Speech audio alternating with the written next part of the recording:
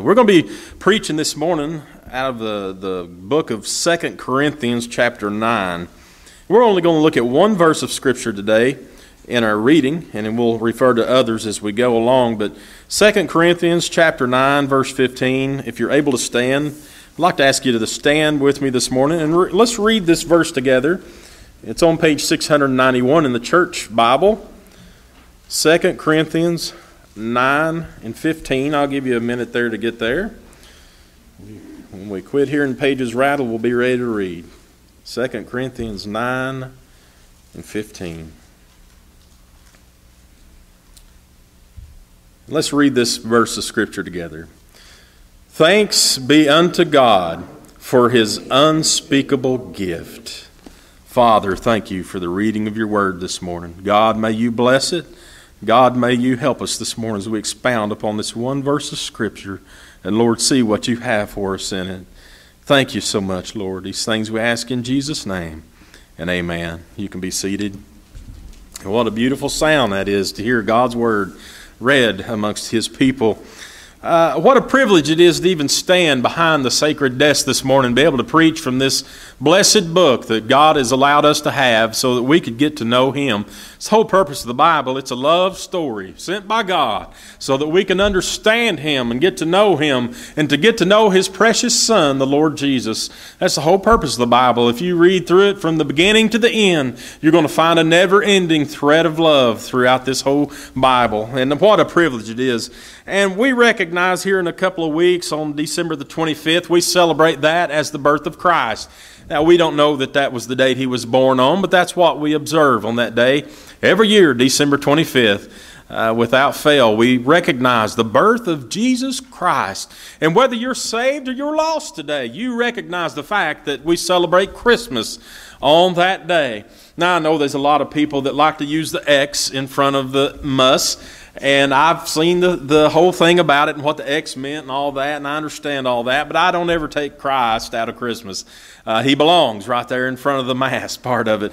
Uh, Christmas, it's all about Jesus. Well, regardless of what day of the month we celebrate it on, uh, when it may be, whether it's snowing outside, whether it's bright and sunny, whether it, uh, whatever it may be, uh, we recognize this as to being the day that God gave us the greatest gift that He ever gave mankind. It's the greatest gift that anyone could ever, ever receive. It's that time of year that we start being concerned about gifts. Gifts. We often hear that word gifts, and to some of us, it really excites us. I know as a child, uh, I hear that word gift, and uh, uh, my ears just sprung open. I was ready. A gift? Are they talking about something for me? What could it be? It could it be that thing that I really would like to have? And a gift just makes us all excited. But for some reason, it seems people don't get as excited over the greatest gift that's ever been given to men. Well, you know, we worry about gifts. What will we get so and so? I mean, there's some people that's got everything already. And so when it comes to, to Christmas time and you're wondering what to get them for a gift, we sit around, well, what are we going to get them? They've got everything. Uh, they don't need anything. What possibly can we get them? So what do you do? You usually go buy them a gift card somewhere. So they go buy something for themselves. But we, we get real concerned about the gift. Uh, we, we think about our children and we ask them to give us a list of gifts that they thought that Santa might want to give them uh, what they might want for Christmas, that gift that they may be getting. And, and so we get real concerned over it. Well, we recognize that, of course, of being these material gifts that we give.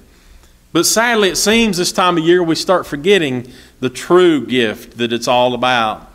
And uh, we often uh, let that kind of go in the background.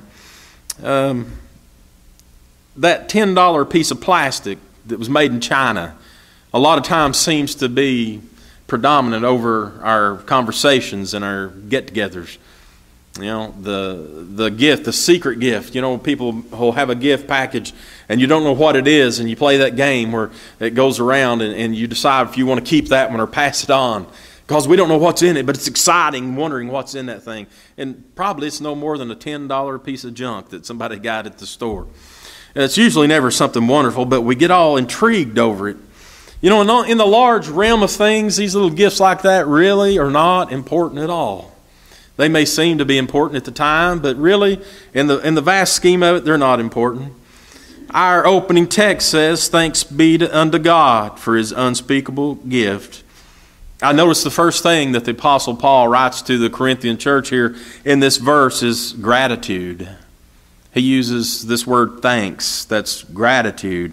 He starts out talking about a gift that's unspeakable, but first he wants to thank God for it. He has great gratitude to God for this gift. Now, this whole passage of Scripture in 2 Corinthians chapter 9 is talking about the giving from the Christian's heart and how, it, how they are to give in the, in the way Christ gave and how blessed we are to be able to give to others, and how that's a sign of your Christianity, how the fruits of the Spirit work in you. That's what the whole chapter's talking about. Uh, and so when he gets to the end of it there, he's talking about this faithful giving, but he's talking about a different gift. Not the one that the church gave, not one that somebody wrapped up and put under a tree or, or came to a party and gave to you or sent you in the mail. It's not talking about that. Not talking about something you can go on Amazon and buy and get free shipping on. Not any of those kind of gifts. It's a, it's a whole different gift, and he's thankful for it. You know, he said in, in verse uh, 7, 2 Corinthians 9 and 7, he says, Every man according as he purposed in his heart, so let him give, not grudgingly or of necessity, for God loveth a cheerful giver. So the lesson here is that we are to be cheerful in our giving. It's not something to begrudge. You know, sometimes you think, well, I've got to buy so and so a present because they'll probably get me something, and, and we begrudge that. Well, that's not what Paul's talking about. He, he says this present is something that's going to be given from a cheerful heart, something that, that gives you great joy. It's a desire that you have to give somebody this gift. And it should come from within us, not some obligation of duty, but because of a love that is deep down inside of us that we want to give compassion to our fellow man. That's what he's trying to teach the church here. It's from a, a, a, compassionate, loving heart that a Christian will give to others. And he's not necessarily just talking about uh, money and things like that. It may be food, clothing, love, shelter. There's a whole lot of things that we can do for people that's giving, and we do that from our heart. Uh, we're given many gifts in our lifetime. And we all always say, like, you know, thanks or appreciate it. If you've ever gave uh, my daughter uh, Jessica a gift, she's one of the funnest people to give gifts to because she, just, first of all, she takes 10 minutes to open the package. And she, she takes it and, you know, carefully opens it up, tries not to tear the paper, takes off the bow, and talks about how pretty the, the paper is and the bows. And I mean, she spends all this time talking about the package. You know, and the whole time I'm sitting there, tear the thing open. Let's get in there and see what it is. But she spends all this time open it up. And then she opens the box and looks down in it, and you just see her face. You, and she's excited and she's amazed and she's always so thankful and she'll pick it up and, and she, you almost think she's going to cry every time she picks something up and says thank you you know and so it's fun to be able to watch that and we say things like thank you or, or i appreciate it but many times we're saying these things just because it's proper manners how many times have you received a gift that really you really didn't care for but yet you said appreciate that Thank you. You say it between clenched teeth. You know, thank you for that gift certificate to that Japanese restaurant that's in another state that I'll never go to. Uh, we got one of those one time. Uh, appreciate that. But we're really not appreciative. We're really not grateful. It's not, we're not really giving gratitude. We're just being kind of nice. We don't want to appear to be ungrateful. But we should always remember that those people that gave you something, this gift they gave you, it was important. You were important enough to them for them to give you a gift. And so they thought of you, whether it was something you wanted or, or didn't want, they were thinking of you. And so we should be grateful for this. Paul says, Thanks be unto God. Be grateful. Uh, maybe you're one of those that really isn't thankful for anything. Maybe you're one of those that you think the world owes you something. I know some people today that, that feel like the, the world owes them something, that they should they deserve some wonderful gift. They go somewhere to a, a Christmas party or something like that, and they think they deserve whatever's under that tree that's got their name on it. And that if it's not don't quite meet their qualifications, well, they feel put out. They're not really thankful for that.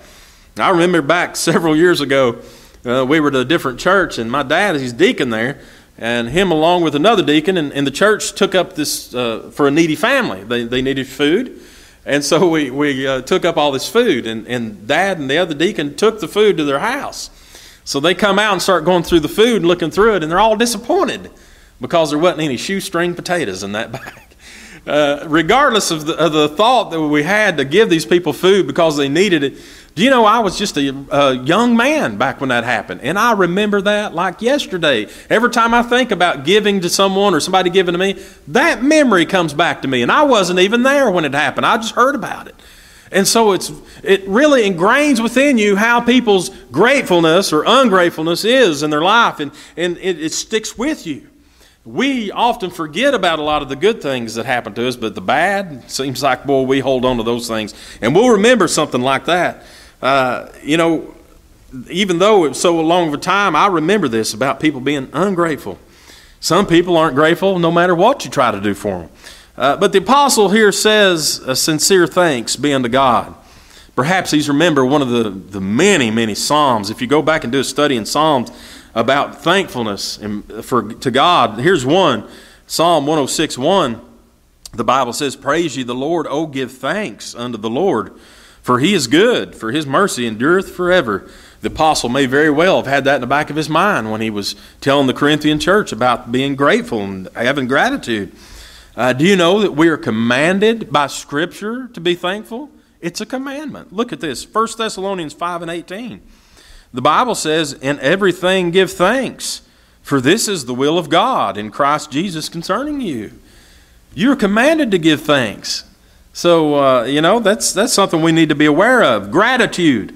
And so that's the first thing I see in this verse of Scripture we read, this very small verse, you know, a great. Um, information here and uh, instruction from Paul about gratitude.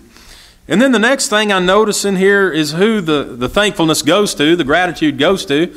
It goes to the giver. The giver. He says, unto God. God is a giver.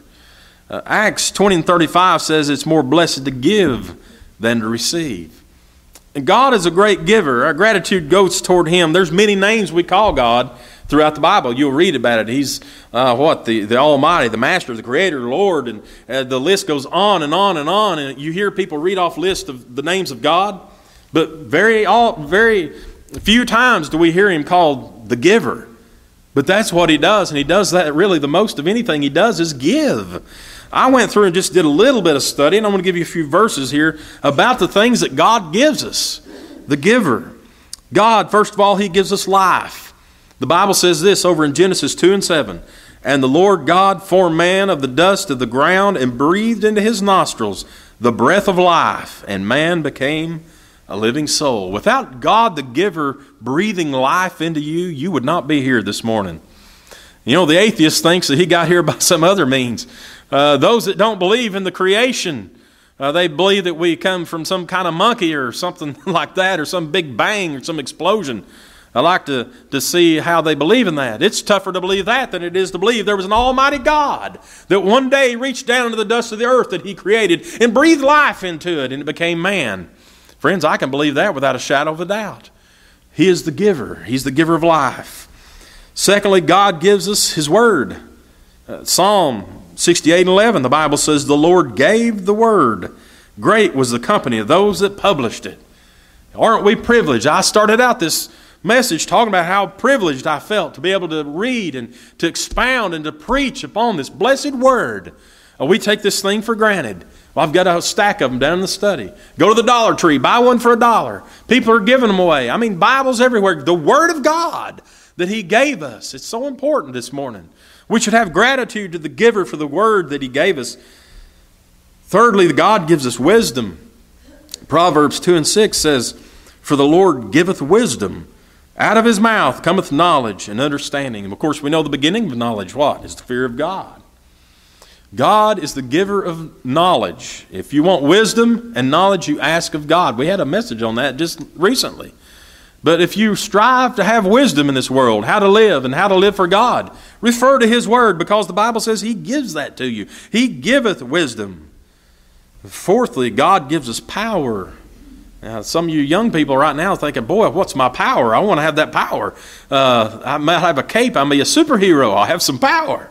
But God gives us power. Look at uh, Luke 10 and 9. Luke 10 and 9, the words of Jesus says this. He says, Behold, I give unto you power to tread on serpents and scorpions and over all the power of the enemy, and nothing shall by any means hurt you.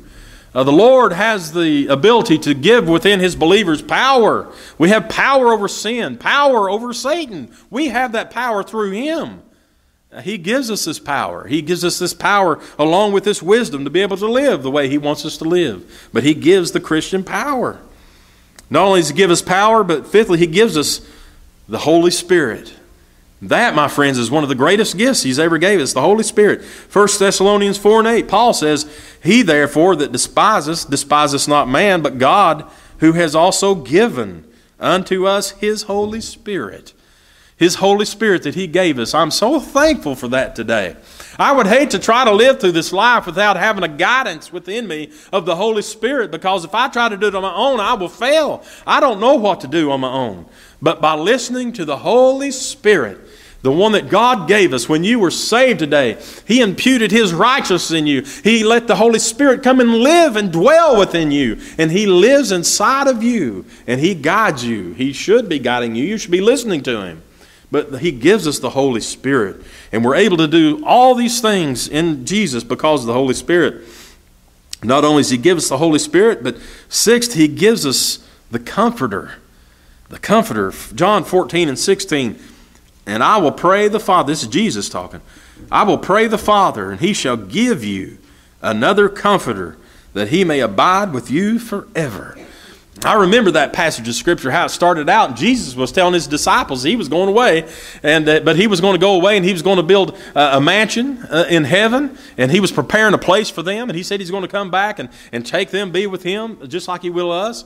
But he went on to say that, that we just read there in uh, John 14, 16. He says, I'm going to pray, and you know what God's going to do? The Father's going to send another comforter down here to comfort you during my absence. So Jesus doesn't walk around here on this earth in the flesh like he once did with the disciples, but do you know what he did do for us? He sent us a comforter somebody that comforts us in those times of need, those times that we need someone to turn to. Sometimes we need a shoulder to lean upon, and we don't have one here on this earth that can help us, but we know we have an almighty, loving Lord that sent his comforter here to take care of us so that we have that. Not only does he give us the comforter, but he gives us eternal life. Eternal life. Romans 6 and 23 says, For the wages of sin is death, but the gift of God is eternal life through Jesus Christ our Lord. What a gift! Has anybody else on this earth ever gave you that gift? Nobody here can give you eternal life. Oh, a doctor may be able to revive you, resuscitate you. You may be able to get shocked back into life, but it's not eternally. It's only for a moment. It's only for a little bit of time. We're, only, we're not guaranteed to live forever on this earth. But one of these days in heaven, one of these days when we're called from here, if you've been saved, God, right here, the Bible says that God, the gift of God, the gift He gave you was eternal life. That's to live forever, not have to worry about dying and going to hell, but to live forever with eternal life, never ending. Eighth, God gave us His Son, Jesus, the greatest gift ever given to man. John 3 and 16. Say it with me.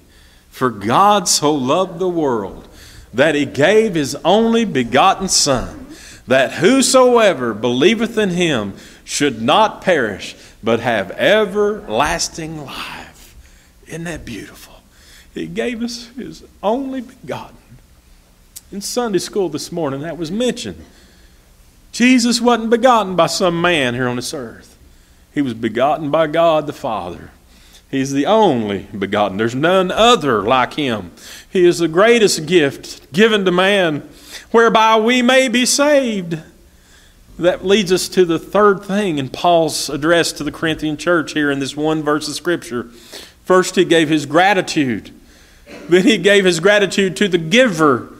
And then he speaks of the unspeakable gift. The unspeakable gift. His unspeakable gift. The word unspeakable here, it's only used one time in our King James Bible. I looked up the Greek meaning of the word and I can't pronounce it. It's unspeakable for me. I can't pronounce it. But I want you to know what it means this morning. It means unspeakable, but it also means indescribable or beyond words. It's one of those things that you can't explain. You, you, you can't try to tell somebody else how it happened, how this came about. It's, it's unspeakable to me. I can't describe it. It's just it's it's beyond my realm of speaking, my, my realm of knowledge. I'm, I'm too finite, I'm too tiny to understand it. I can't even speak of it. I don't understand it. So what is this unspeakable gift he's talking about? How many gifts today can you honestly say you've received from somebody here on this earth? How many today can you say was unspeakable or undescribable? Indescribable, I, I can't even describe it. It was so magnificent? None. Nobody's ever gave you anything on this earth that you could not describe. You can describe every one of them. You know, we can look back on things like, like Friday night. We had a Christmas party at my parents' house, and we gave each other gifts. And as I got my gift and opened up the box, and good things come in small packages. And let me describe you the gift that I had. It was silver, sterling silver. It was shiny. It clipped. It had teeth on the back. It was about two inches long. And it's something that I use a lot. And it even had across the front of it my initials BSC. I can describe it down to the T without even looking at it. It's right here on my tie. It was this tie pin. It's this tie bar right here and I can describe it to, to a detail. If somebody ever stole it and the police come and say, Can you describe that thing? I said, I sure can. I can describe it. I'll tell you everything about it. Every gift I've ever been given, I can describe. All the plastic, all the metal, all the, all the colors, all the, the sounds they made, the batteries they took. I can describe everything about these gifts that I've ever had. You know, the, uh, I can go all the way back to my memories in, in childhood and describe gifts that I got during Christmas and, and birthdays. I remember getting a Stretch Armstrong. I saw him on TV being advertised. Boy, I wanted one bad. He's a little muscular figure made out of rubber filled with some kind of jelly. And you could take his arms and his legs and you could pull him like this and stretch him out as far as you could. And I would sit and try to pull him apart. I'd put my foot on one arm and grab him by the other. I'd, pull and pull Stretch Armstrong out like this. I'd grab his legs and pull him. Boy, it was so fun. I can describe Stretch Armstrong, and I've not seen a Stretch Armstrong in 30 years. And I can describe to you every little detail. I remember his, even his little brown haircut that was cut perfectly. I remember he was defined. He had the, the washboard abs, you know, and the, and the big muscles, and, and he wore the little uh, blue tight shorts, you know, and I can remember that uh, perfectly. And how I used to pull from him and push on him, and I wonder what's inside that guy. And I could mash on it. But I could describe you every little detail of Stretch Armstrong. I could describe to you every detail of the Crosman 760 pellet rifle that I received when I was 12 years old. I can remember every bit of it. I can remember the wood grain stock that was made out of plastic. It, was, it looked like wood. But I can remember the stock. I can remember uh, the, the pellets, and I can remember the size of the pellets. I can remember you could put BBs and pellets in it. I remember that you could, you could cock it like 21 times and, and kill a bird out of the top of a tree. I can tell you everything about that gun. I can describe it. I remember getting one of my most prized possessions as a child, and it was a BMX bicycle. We wasn't allowed to have a motorcycle. We was going to break our neck if we had one of them. But a BMX bicycle. And I can see that thing right now. It was black. It was beautiful. It had a, a square seat and it had uh, one of those uh, uh, bars across the front and had this big padding thing on, on the middle bar. It had numbers on the side. It had plastic things that filled in on it. it. Had knobby tires. I could stand on the seat and ride on it. I could pop wheelies. I could jump ditches. I could do everything on that bike. I could describe to you that bike right now if I could see it sitting right there, right now in my eyes. I can see it. Hadn't rode a bike like that in 25, 30 years but I can describe you that bike. We can describe every gift that anybody's ever gave us here on this earth. But there's one gift your mind cannot even comprehend. I want you to turn with me in your Bible to Romans 5. Romans 5 and 12. Let's look at this together. You're going to find Paul talking in nine verses. We're going to read nine verses of Scripture. Maybe 10, I don't know, but it's 9 or 10 there. And in these few verses of Scripture, Paul's going to mention a gift, and he's going to mention it six times. Romans chapter 5, verse 12, start with verse 12. Romans 5 and 12. The Bible says, Wherefore, as by one man sin entered into the world, and death by sin, and so death passed upon all men, for that all have sinned. For until the law, sin was in the world, but the sin is not imputed when there is no law. Nevertheless, death reigned from Adam to Moses, even over them that had not sinned, after the similitude of Adam's transgression, who is the figure of him that was to come. Now look at verse 15. But not as the offense, so also is the free gift. For if through the offense of one many be dead, much more the grace of God and the gift by grace, which is by one man, Jesus Christ, has abounded unto many. And not as it was by one that sins, so is the gift. For the judgment was by one to con- condemnation, but the free gift is of many offenses unto justification. For if by one man's offense death reigned by one, much more they which receive abundance of grace and of the gift of righteousness shall reign in life by one, Jesus Christ. Therefore, as by the offense of one judgment came upon all men to condemnation, even so by the righteousness of one the free gift came upon all men unto justification of life. For as by one man's disobedience many were made sinners, so by the obedience of one shall many be made righteous. Moreover, the law entered that the offense might abound, but where sin abounded, grace did much more abound, that as sin has reigned unto death, even so might grace reign through righteousness unto eternal life by Jesus Christ our Lord. Six times he mentions a gift, and he calls it a free gift. He, he keeps referring to a gift because, quite frankly, every person that's born today was born into sin. Because of the fall of Adam, his sin was put into man, and we have this sin nature within us, and we're bound for a devil's hell. Do you know we are programmed? We are programmed to go to hell because we're filled with sin. We're a sinful person, and we have that programmed in us. So we have to have a way around that. If you have a GPS in your car, if it's not been updated, it'll take you places that don't exist. It'll take you to a place that used to be there but no longer is. It, it might be closed. I kept inviting people to church, and they would call me and say, I'm lost. I'm on some little road that's a dead end. It's over by the, the, the, uh, the store over here, the Food City. And I said, Yeah, that road used to be open. We used to take that as a shortcut. It went over the railroad tracks by the Shaylite plant and come out down there on Millertown. Used to, you could go that way, but not anymore. They've closed it. But the GPS has not been updated. You know what the GPS does? It says to turn left here at this slide. And they turn left and they go down.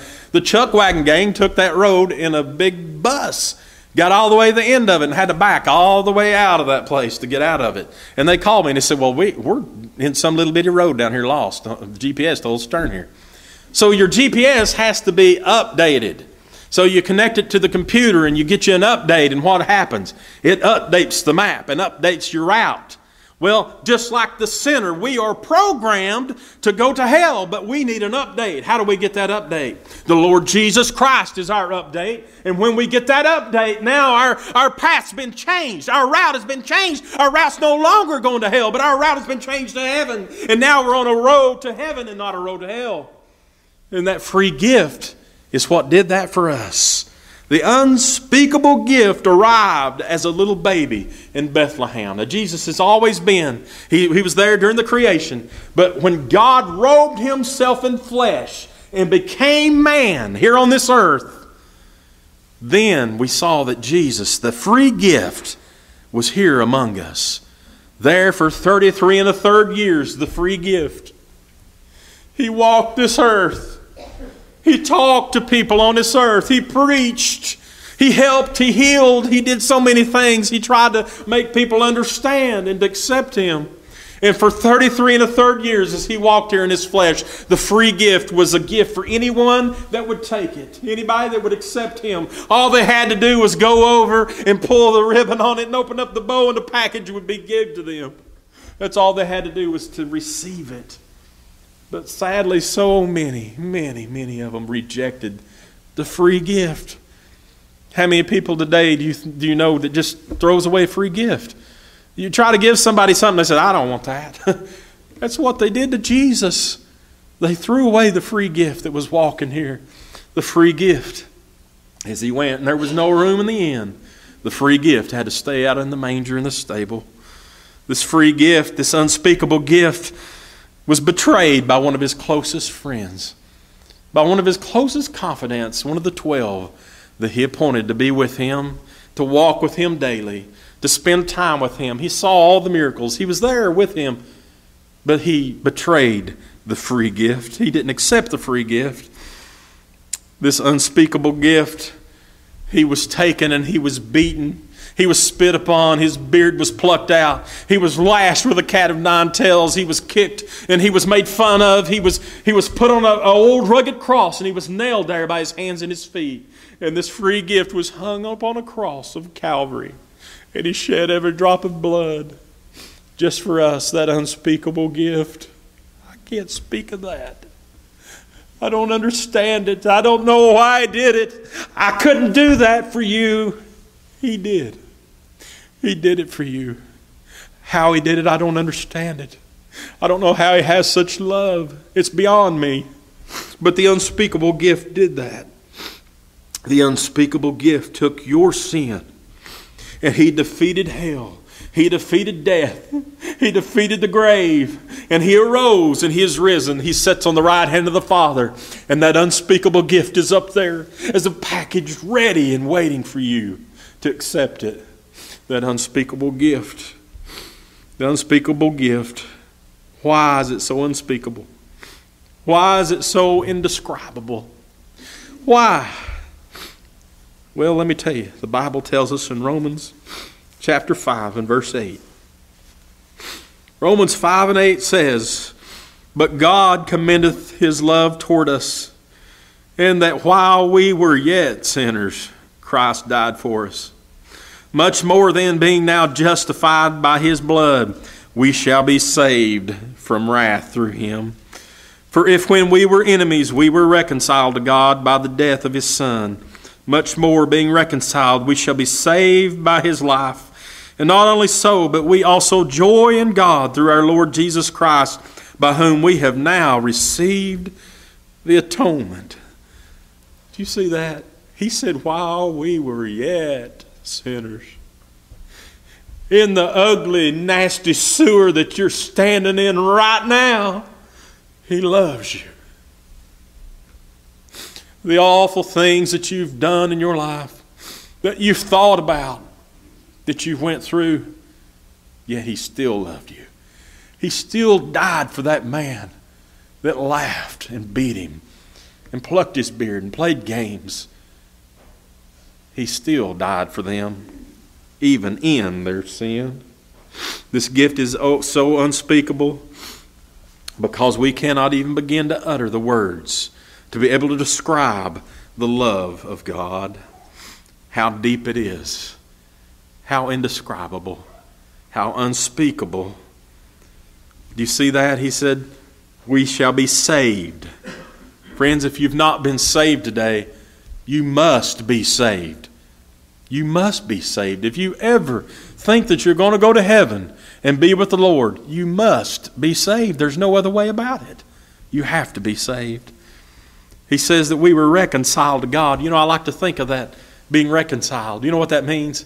You've been separated from me. Because if you're a sinner, unsaved, you are separated from God. You can't hold God's hand if you're not saved. But you know what the Lord Jesus did?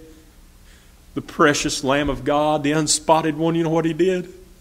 He took your hand and he took God's hand and he joined them together and he reconciled you with the Father. And he made you able to stand in front of, a righteous God. He did that for you. He reconciled you.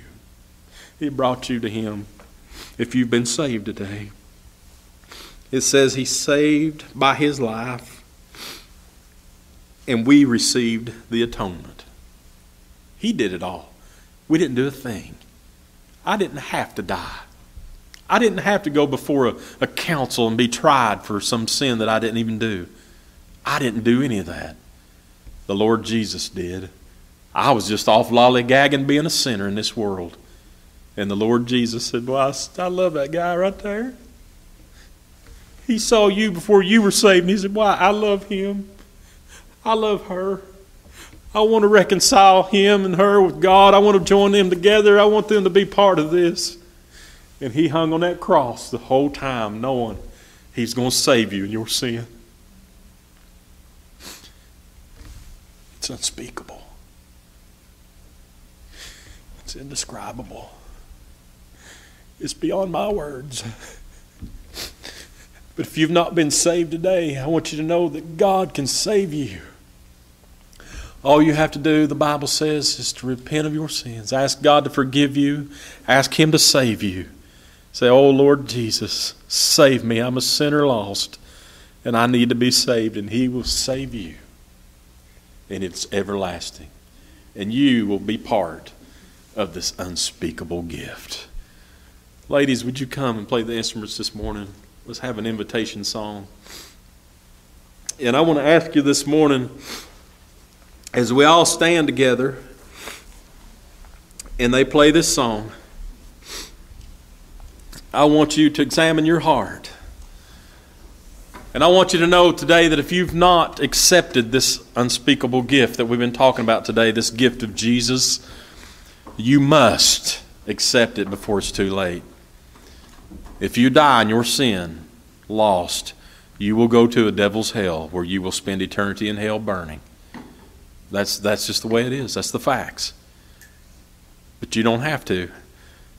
Because Jesus, that unspeakable gift, wants to give you everlasting life. Would you come to the altar this morning if you need to be saved? And come down and pray with me. Let's, let's pray as they play. Heavenly Father, I thank you for the reading of your word today. God, I thank you for the message. Lord, I thank you most of all for your unspeakable gift. God, for your precious Son, Jesus, who you were satisfied in as he took our sin upon himself. And he sacrificed himself, Lord, to make an atonement for our sins. Lord, that we would be saved for eternity. God, so that we could be rec- reconciled with you. Thank you for that. God, if there's one in this church this morning that has never received the gift, God, they've never opened the package and received eternal life. God, would you have them come to this altar this morning so that they can pray, God, and ask you to save them? Lord, is there one today? Would you urge them down, God? Lord, would you send your Holy Spirit to touch their heart? Is there one today? Everybody pray this morning. Is there one in this house today that needs to be saved? Would you come down and let me pray with you? If you need to be saved today, would you come? Would you come and receive this gift that God has gave to you? Is there one? Is there one today that's out of God's will? You're backslidden. You've received the gift, but you've neglected it. You're not treating the gift the way that you need to. You're not walking in His will. Do you need to come down and get prayer this morning, get help? Is there one here today? Is there one?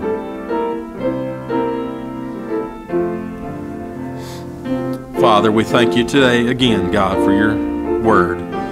We thank you for those that were here this morning, Lord, listening intently. I pray that if you've been speaking to someone today, that they'll make things right before it's too late.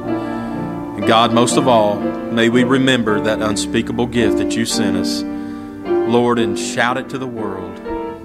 Thank you so much. These things we ask in the precious name of the Lord Jesus. Amen.